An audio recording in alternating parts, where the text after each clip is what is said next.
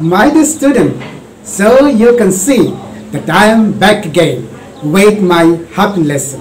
My dear student, today I will talk and try to explain the two strategies of reading. The first one is called the skimming strategy and the second one is called the scanning strategy. As I explained it in my last class that when you want to know the main idea of a text, when you need to know the main thing of a text, when you need to know the gist of a text, not the juice, this is gist, the gist of the text, then you will need the skimming strategy. That means in the skimming, you need not to read word by word.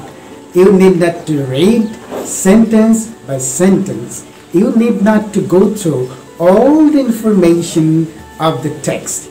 What you need to do, only you need to have an overview of the whole text so that you can understand the main idea of the text. If you can understand, then that is called the skimming. For example, think that I have given you a text on corona situation of Bangladesh. So if you go through the text and at the end if I ask you that my dear student what is the main topic of this text and if you can uh, answer me that sir the main topic of this reading test is the present corona situation in Bangladesh then you are a successful reader of this.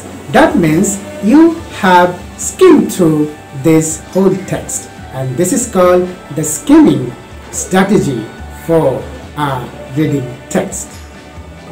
On the other hand, if you read a text word by word, if you read a text sentence by sentence, if you go through all the information of the text then that is called the scanning. That means you have understood all the word meanings, you have understood all the meanings of the sentences, you have already got all the ideas, you have got all the information that is in the text, then it will be called a scanning kind of reading.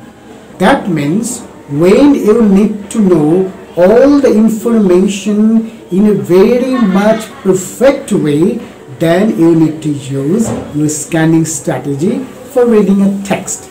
So I hope my dear students you have understood both the skimming and the scanning strategies. So my dear student I hope by now you have fully understood what is called scanning and what is called skimming. There are some articles in the below sections of this course. You go through all these texts and try to read them with both the strategies. First try to apply the skimming and then try to follow the scanning strategy for reading those texts. And then you will get some questions on those articles and try to answer them. If you can answer them, then you are a successful reader. Hope you have understood me very clearly. So thank you very much for joining me. Hope to see you again in my next class. Till then, have a nice day. Stay healthy. Stay happy. So have a nice day and have a smile. bye bye. See you again.